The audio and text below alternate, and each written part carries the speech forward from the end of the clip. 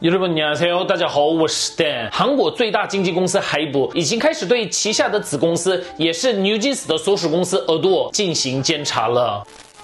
今天，根据多家媒体报道，还不认为耳朵的代表米尼金等人试图想要控制经营权、独立经营公司，并已开始搜集相关证据。监察的对象包括代表米尼金以及耳朵的高层 A 某。目前，监察部门的人员已前往耳朵管理层的工作区域，收回了公司的电脑资产，并着手获取面对面的陈述。还不计划在分析当天所获得的电脑资产等之后，根据这些资料，在必要时采取法律措施。海捕的一位相关人士表示，确实因为怀疑。耳朵管理层想要取得经营权，所以我们已经启动了监察权。而根据二十二号的行业消息，海普当天要求召集耳朵的董事会，以召开股东大会，这是为了问责试图夺取经营权的现任管理层，并额外任命海普方的董事。但目前尚不确定耳朵的股东大会是否会按照海普的要求召开，这是因为召开股东大会需要耳朵董事会的决定，而米尼金代表等人已控制了耳朵董事会。除了米尼金代表外，耳朵的其他两名公司内部董事，也都是米尼锦代表从 S N 娱乐时期开始的密切助手。如果耳朵董事会拒绝海捕要求的话，目前没有强制执行的方法。据了解，海捕当天也发送了一封要求米尼锦代表辞职的信件，但业内人士预计，已控制董事会的米尼锦代表应该会拒绝辞职，并对海捕采取攻势。米尼锦代表过去在 S N 娱乐公司时期负责过 Sonya s h i d e Shiny EXO 等著名爱豆团体的概念和品牌管理，以独特的色彩感。和表现方式在音乐界获得了名气。在加入海谷后，米妮锦推出了女团 NewJeans，创下了巨大的成功。我们来看一下韩国网友们的反应。因为耳朵的董事会都是米妮锦方的人，所以可能无法召开股东大会。这比电视剧还要电视剧。这种行为是不是比 Fifty Fifty 的情况还要严重？如果没有钱，应该通过合法方式借款或寻求投资来经营自己的业务，而不是在别人的公司工作后再来说这是我创造的，我要拥有它。这种行为就像是流氓。公司承担了初期的投。投资风险并提供了支持，而迷你锦则试图将风险推给别人，只带走成果。这怎么能算是他的能力和成果？真正的能力应该是承担投资风险，并成功的实现目标。刚出道就能成为奢侈品牌的代言人，还能拍摄大型广告，不仅仅是因为迷你锦自己的名气，更多是因为属于海捕这个品牌的效应。也太自大了吧！即便是顶尖制作人庞希尔，也花了好长一段时间才让 BTS 达到现在的人气高度。Fifty 事件发生才多久，真是惊人！他们可能认为 NewJeans 已经。很红了，所以应该没问题。但在韩国，特别是女团的大众形象非常重要。如果他们被视为背叛者，那么他们的形象可能会迅速坠落。米妮姐已经是不行了，女金死的成员们应该要小心处理他们的立场。如果他们一直追随米妮姐代表的话，那可能会成为第二个 Fifty 事件。如果处理得当，则不被视为背叛，而是作为另一个受害者继续活动。但也有网友们表示，会不会是海捕为了加强对耳朵的控制，故意发布夸大情况的新闻呢？很难相信米妮姐会做出那么。愚蠢的行为。